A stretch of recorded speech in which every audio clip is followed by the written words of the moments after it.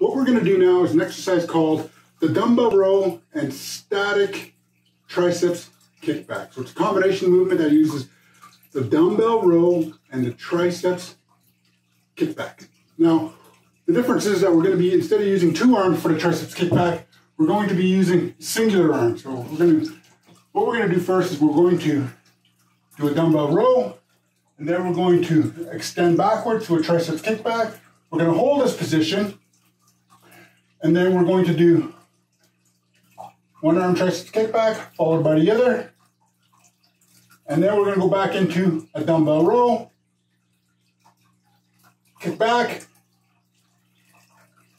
Extend and kick back. Right arm with one arm. Extend and kick back with the other. All right, so this is a combination movement that uses a few techniques. First is the dumbbell row, followed by the alternating static triceps kickback. So let's take a look at what this exercise is going to look like. So what we're going to do is we're first going to pick up the dumbbells. Remember, you want to stand up straight, puff that chest out, retract those shoulder blades. You want to bend at the waist, slightly bending at the knees. What we're going to do first is we're going to do a dumbbell row, row up, squeeze those shoulder blades back, and then we're going to extend the triceps kickback, and then we're going to do singular triceps kickback for one arm, and then we're going to do the other arm. And then we're going to follow that back up with the row.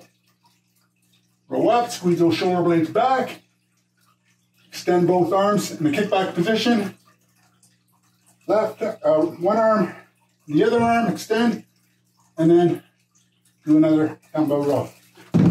Now, this exercise is a great exercise that will help develop and strengthen not only the back of your upper arms with the triceps, but we're also going to be developing and strengthening the entire upper back area, which here is called the latissimus dorsi. And that is going to really help tone and shape that area of your body to really help uh, firm up that, you know, to help get rid of those bat wings. This is the area that we want to target as well. So let's take a look at this exercise one more time. So we're going to pick the weight up,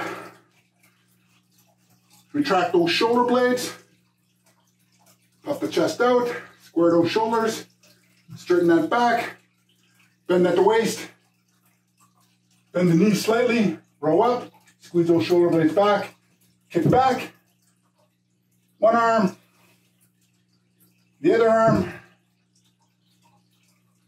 row up, kick back, keep the constant tension on the backs of your arms. You're really gonna feel it. Row up, extend those arms,